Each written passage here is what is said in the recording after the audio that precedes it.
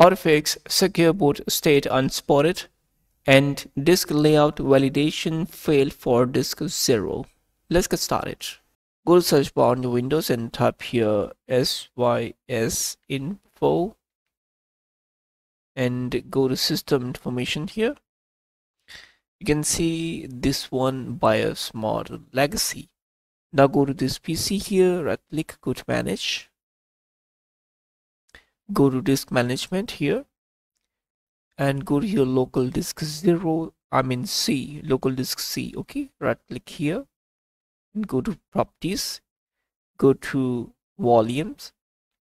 And here you can see partition style is uh, master boot record MBR so you need to convert this uh, uh, style uh, partition style to GPT so after converting uh, this uh, disk partition style MBR to GPT, you can easily fix the issue. Go to search bar on Windows and type your CMD. Now right click on it, run as administrator. Now first command use this one, copy and paste here, edit and paste, press enter on your keyboard and copy this command here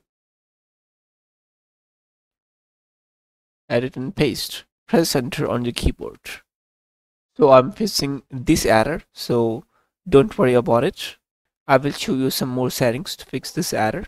Now close your cmd now here you can see uh, disk 0 uh, i have local disk c and new volume d. And i have another disk 1 e and f. You can see i go to this pc and e and f. Okay. This is my new volume D. Here you can see D. These parts these two parts are for my SSD and these these two parts are for my uh, hard drive.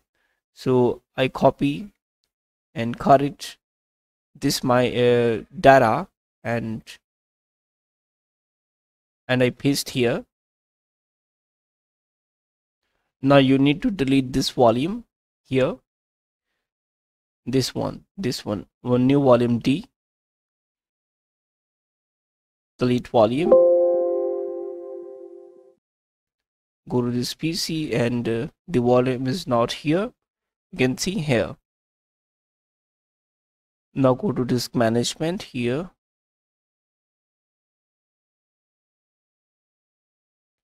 And delete partition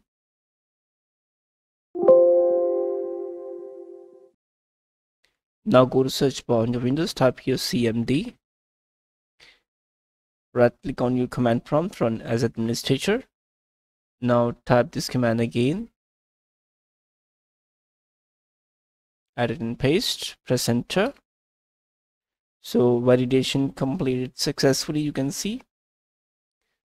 Now here you can see copy this command, edit and paste press enter on your keyboard.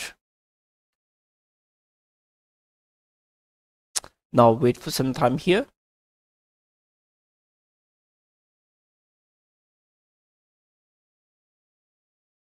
So you can see you need to switch the firmware to boot to UEFI mod.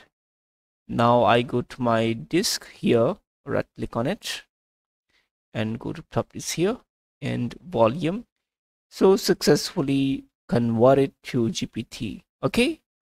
Now click OK. Now close it and close it. Close it.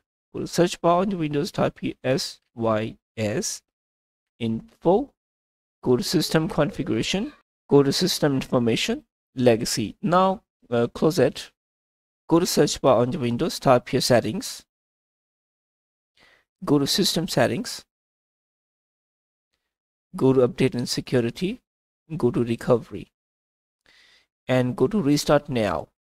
If you have Dell PC then restart your PC and press F2 on your keyboard. These settings are for Dell PC after restarting your PC uh, press F2 on your keyboard and preparing to enter setup here. Secure boot and go to uh, legacy boot uh, advanced boots options. Uncheck this option here. But select from uh, boot sequence first. Okay click here. Boot sequence select this one. UEFI here. You can see uh, this one. This is my SSD okay? Now go to here advanced boot options uncheck this option here. Now go to secure boot here. Secure boot and uh, click on enable this option here. Now it's done. Now go to apply. Click here. Apply now. Click on exit. It's working now here.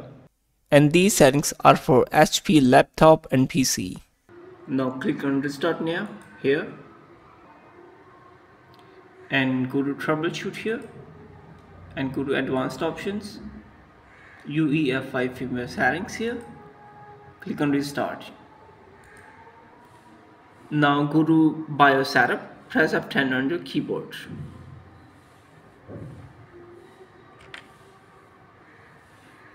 And here you can see file. Go to security scroll down. Go to security boot configuration. Press enter. Press F10 on your keyboard. And here you can see legacy support enabled. You have to disable it. And secure boot. You have to enable it. Secure boot is enabled now. Press F10 on your keyboard. This one now go to file here. Scroll down save changes and exit press enter.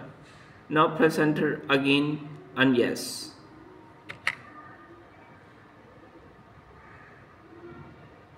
Now go to search bar on your windows and type sys system information. Go to system information and you can see bios mod is uh, uefi now. Okay windows security device security and secure boot is on now. Now go to this pc and open it. And uh, here go to disk management. And this one you can see this partition is unallocated. Now go to this pc and uh, and unallocated. Right, right click and new simple volume next next choose uh, default select G click on next and select NTFS by default click on next and finish. Now here you can see this is my new volume disk okay? G. And close it it's done. Please subscribe the channel like the video